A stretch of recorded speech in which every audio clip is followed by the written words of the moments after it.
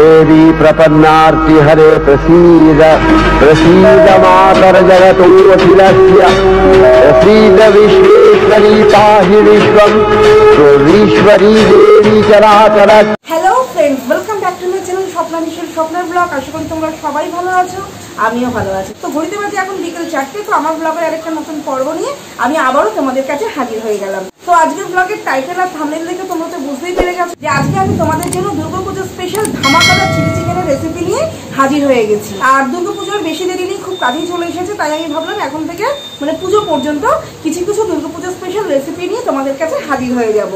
তো দেখা যাক কি কি রেসিপি নিয়ে আসতে পারি তোমাদের জন্য।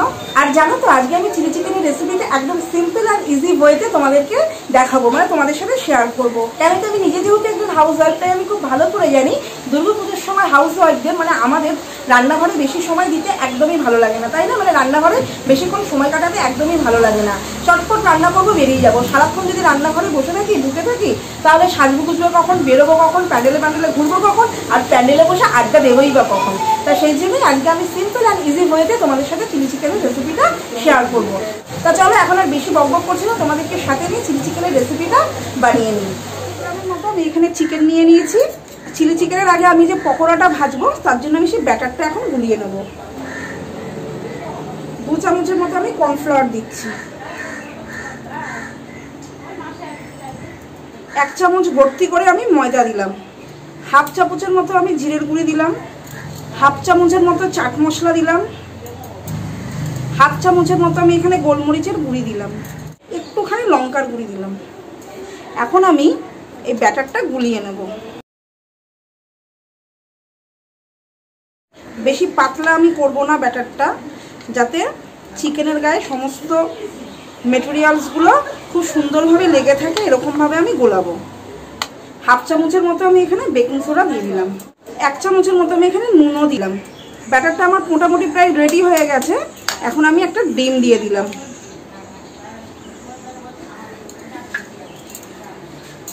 ডিমটা দিয়ে খুব সুন্দর করে আমি মাখিয়ে নেব। ব্যাটারটা যতটুকু শুকনো শুকনো লাগছিল, এখন কিন্তু অতটা শুকনো শুকনো লাগবে না। ডিমটা দেওয়াতে অনেকটা ময়েশ্চার হয়ে যাবে ব্যাটারটা আমার সম্পূর্ণভাবে রেডি হয়ে গেছে। কড়াইতে তেলও দিয়ে দিয়েছি, তেল গরমও হয়ে গেছে। এখন আমি এই চিকেনগুলো ফ্রাই করে নেব, চলো। আজকের আমার হাজব্যান্ডের অর্ডার হয়েছে সাদা তেলে নয়, সর্ষের তেলে চিলি চিকেন করতে হবে। তো ওই জন্য সর্ষের তেলেই আজকে আমি পুরো চিলি চিকেনটা বানাবো। তো কিন্তু সাদা তেল মানে রিফাইন্ড অয়েলে খেয়ে এসেছি। চিলি চিকেন আজকে দেখি সর্ষের তেলে রান্না করে কীরকম হয় খেতে। সব কিছুই ঘুরিয়ে ফিরিয়ে ট্রাই করা উচিত, তাই না? তেলটা গরম হয়ে গেছে, দেখো। এখন আমি এক এক করে চিকেনগুলো দিয়ে দেবো।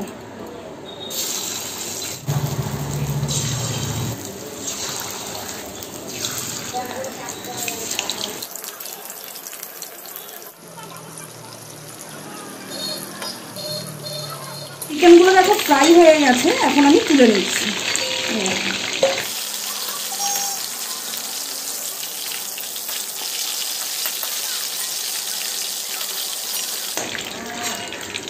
বাকি চিকেনগুলোও দিয়ে দিলাম।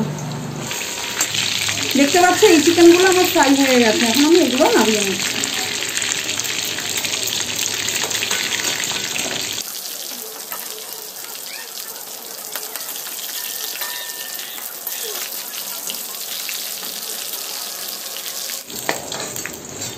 আমি এখানে ক্যাপসিকাম নিয়ে নিয়েছি এরকমভাবে কেটে, আর পেঁয়াজও নিয়ে নিয়েছি। আর এখানে আমি রেড ক্যাপসিকামও নিয়েছি।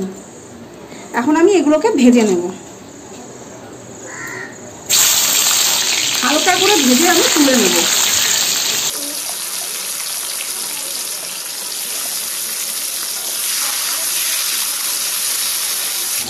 পেঁয়াজগুলো আমি ভেজে নেব। খুব বেশি ভাজবো না, হালকা করে ভাজবো।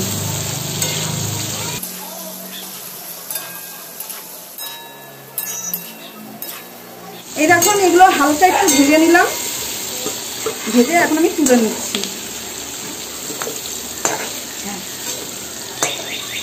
দেখো।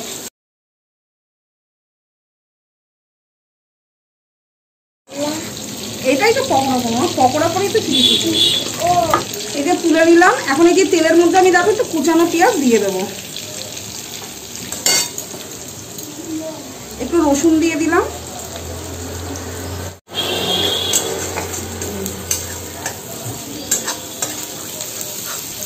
এগুলোকে একটু ভেজে ভেজে নেব। ভাজা ভাজা করব আর কি। আমি এখন এক চামচের মতো এখানে সোয়া সস দিয়ে দিলাম। এক চামচের মতো রেড চিলি সস দিলাম।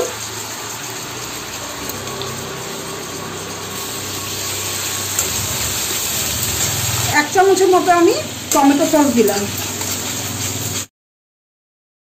আমি রান্নায় হলুদও ব্যবহার করব না, আদাও দেবো না। আমি এখানে দু টেবিল চামচের মতো কর্নফ্লাওয়ার নিয়েছি, আর কর্নফ্লাওয়ারটা দেখতে পাচ্ছ, জলে আমি গুলে নিয়েছি। সামান্য একটু আমি লঙ্কার গুঁড়ি দিলাম, যেহেতু বাচ্চা খাবে, অল্প সামান্য দিলাম। আর রেড চিলি সস তো আমি আগেই দিয়েছি, ওই জন্য আর বেশি দিলাম না লঙ্কার গুঁড়িটা। এখন আমি এই কর্নফ্লাওয়ারটা দিয়ে দিলাম এর মধ্যে।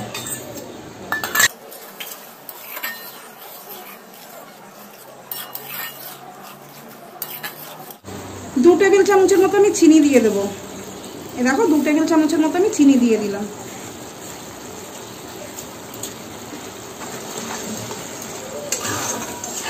এ দেখো, গ্রেভিটা সুন্দর ফুটে গেছে, আমি এখন এগুলো দিয়ে দিচ্ছি। ক্যাপসিকাম, পেঁয়াজগুলো ভেজে রেখেছিলাম যে দিয়ে দিলাম।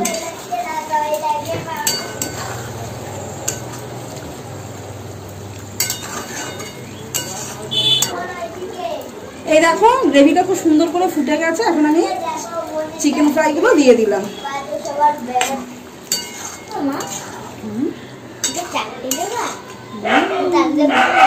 আজকের মতো আমার চিলি চিকেনটা সম্পূর্ণভাবে রেডি হয়ে গেল।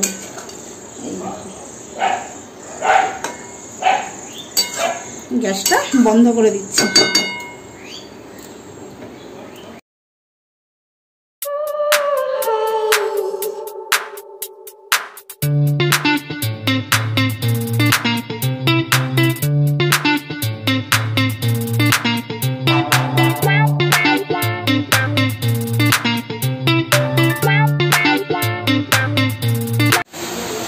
দেখতেই পেলে একদম সিম্পল আর ইজি ওয়েতে আজকে আমি তোমাদের সাথে চিলি চিকেনের রেসিপিটা শেয়ার করে নিলাম।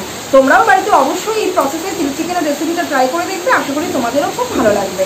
আজকের আমার দুর্গাপুজোর স্পেশাল ধামাকাটা চিলি চিকেনের রেসিপিটা তোমাদের কেমন লাগবে অবশ্যই আমাকে লাইক কমেন্ট করে জানাবে। আর যদি খুব বেশি ভালো লেগে থাকে, তাহলে আমার ভিডিওটাকে শেয়ার করতে কিন্তু একদমই ভুলো না।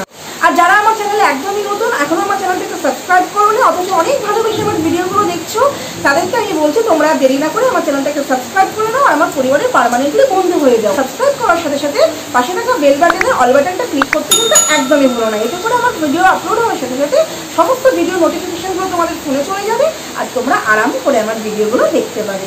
তো আজকের ব্লগটাকে আর বেশি বড় করছি না, খুব শিগগিরই তোমাদের সাথে আমার দেখা হচ্ছে।